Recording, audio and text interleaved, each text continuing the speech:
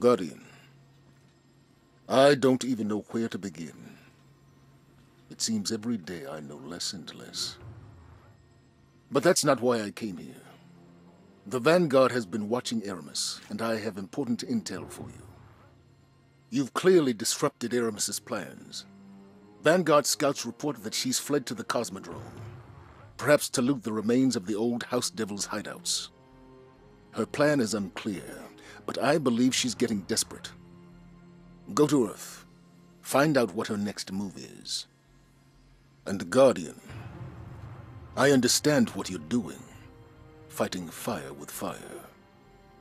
But the darkness is not our friend. The darkness caused the collapse. By all accounts, it seeks to cause another. Don't let it lead you away from the light. The city needs you. I need you.